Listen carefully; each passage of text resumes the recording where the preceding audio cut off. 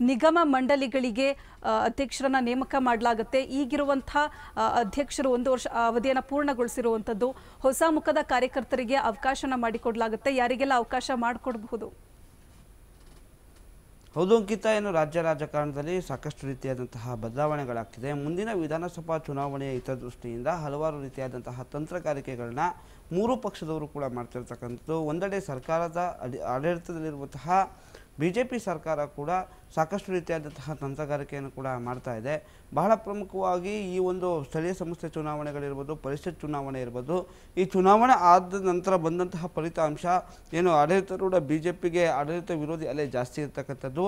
ಹೀಗಾಗಿ ಎಲ್ಲ ಒಂದು ತಂತ್ರಗಾರಿಕೆಯನ್ನು ಒಳಗೊಂಡಂತೆ ಮುಂದಿನ ದಿನಗಳಲ್ಲಿ ಅಂದರೆ ಈ ಒಂದು ಜನವರಿ ಐದನೇ ತಾರೀಕು ನಡೆಯುವಂತಹ ಒಂದು ಏನು ಕೋರ್ ಕಮಿಟಿ ಸಭೆ ಇದೆ. ಈ ಕೋರ್ ಕಮಿಟಿ ಸಭೆಯಲ್ಲಿ ನಿಗಮ ಮಂಡಳಿ ಅಧ್ಯಕ್ಷರ ಬದಲಾವಣೆ ವಿಚಾರವಾಗಿ ಸಾಕಷ್ಟು ಚರ್ಚೆ ನಡೀತಿದೆ. ಹೀಗಾಗಿ ಈಗಾಗಲೇ ಏನು ಆಯಾ ಜಿಲ್ಲಾಧ್ಯಕ್ಷರುಗಳಿಂದ ಮಾಹಿತಿಯನ್ನು ಕೂಡ ಪಡೆದಿರತಕ್ಕಂಥದ್ದು.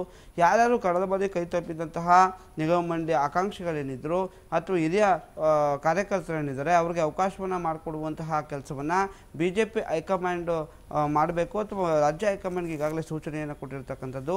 ಹುಬ್ಬಳ್ಳಿಯಲ್ಲಿ ನಡೆದಂತಹ ರಾಜ್ಯ ಕಾರ್ಯಕಾರಿಣಿಯಲ್ಲೂ ಕೂಡ ಇದೊಂದು ಮಹತ್ವದ ವಿಚಾರ ಚರ್ಚೆ ಆಗಿರ್ತಕ್ಕಂಥದ್ದು ಯಾಕಂದರೆ ಸ್ಥಳೀಯ ಸಂಸ್ಥೆ ಚುನಾವಣೆಗಳಲ್ಲಿ ನಮ್ಮ ಸರ್ಕಾರ ಮುಂದೆ ಎರಡು ವರ್ಷಗಳು ಕಳೆದರೂ ಕೂಡ ನಾವು ಯಾವುದೇ ರೀತಿಯಾದಂತಹ ನಿಗಮ ಮಂಡಳಿಗಳಿಗೆ ಸದಸ್ಯರನ್ನು ಅಥವಾ ನಿರ್ದೇಶಕರನ್ನು ನೇಮಕ ಮಾಡಿಲ್ಲ.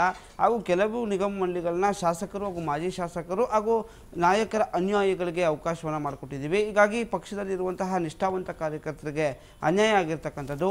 ಈ ಒಂದು ವಿಚಾರ ಕೂಡ ಈ ಚುನಾವಣೆಗಳಲ್ಲಿ ನಮಗೆ ಹಿನ್ನಡೆಯಕ್ಕೆ ಕಾರಣ ಆಗಿದೆ.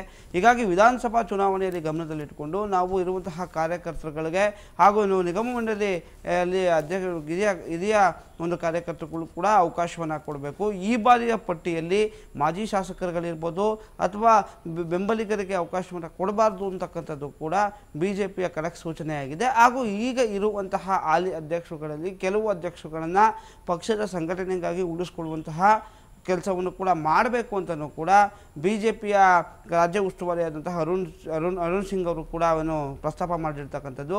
ಹೀಗಾಗಿ ಇವೆಲ್ಲರ ಬೆಳವಣಿಗೆಯಲ್ಲಿ ಜೂನ್ ಐದು, ಜನವರಿ ಐದನೇ ತಾರೀಕು ಏನು ಸಭೆ ಇದೆ. ಆ ಸಭೆಯ ನಂತರ ಮಹತ್ವದ ಬೆಳವಣಿಗೆ ಆಗುತ್ತೆ. ಮೈಸೂರು ಭಾಗದಲ್ಲೂ ಕೂಡ ಹೆಚ್ಚಿನ ರೀತಿಯಾಗಿ ಮೈಸೂರು ನಗರ ಪ್ರದೇಶದಲ್ಲಿರುವಂತಹ ಮುಖಂಡರುಗಳಿಗೆ ಅವಕಾಶವನ್ನು ಕೊಡಲಾಗಿದೆ. ಹೀಗಾಗಿ ಮೈಸೂರನ್ನ ಒಳಗೊಂಡಂತೆ ಹನ್ನೊಂದು ವಿಧಾನಸಭಾ ಕ್ಷೇತ್ರದಲ್ಲಿ ಹಲವಾರು ರೀತಿಯಾದಂತಹ ಏನು ಹಿರಿಯ ನಾಯಕರುಗಳಿದ್ದಾರೆ, ಅವ್ರಿಗೆ ಅವಕಾಶವನ್ನು ಕೊಡಬೇಕು ಅಂತ ಕೂಡ ಬಿಗಿ ಪಟ್ಟಣ ಆಗಿರ್ತಕ್ಕಂಥದ್ದು. ಈ ಬಾರಿ ಏನು ರಾಜಕೀಯ ನಾಯಕರ ಬೆಂಬಲಿಗರಿಗೆ ಹೊರತುಪಡಿಸಿ ಪಕ್ಷದಲ್ಲಿ ಕೆಲಸ ಮಾಡುವಂತಹ ಕಾರ್ಯಕರ್ತರಿಗೆ ಅವಕಾಶವನ್ನು ಕೊಡಬೇಕು. ಪಕ್ಷದ ಜವಾಬ್ದಾರಿಯಲ್ಲಿ ಸೇವೆ ಸಲ್ಲಿಸಿದವರಿಗೆ ಅವಕಾಶವನ್ನು ಕೊಡಬೇಕು ಅಂತಕ್ಕಂಥದ್ದು ಕೂಡ ಪ್ರಸ್ತಾಪ ಆಗಿರ್ತಕ್ಕಂಥದ್ದು. ಹೀಗಾಗಿ ಹೊಸ ವರ್ಷದಲ್ಲಿ ಹೊಸತರವಾದಂತಹ ತಂತ್ರಗಾರಿಕೆಯನ್ನು ಬಿ ಜೆ ಪಿ ಮಾಡ್ತಾ ಇದೆ ಅಂತ ಹೇಳಿದ್ರೆ ತಪ್ಪಾಕಿಲ್ಲ ಅಂಕಿತ. ಧನ್ಯವಾದ ಯಶಸ್ ಮೌತೂರ್ ತಮ್ಮೆಲ್ಲ ಮಾಹಿತಿಗಾಗಿ.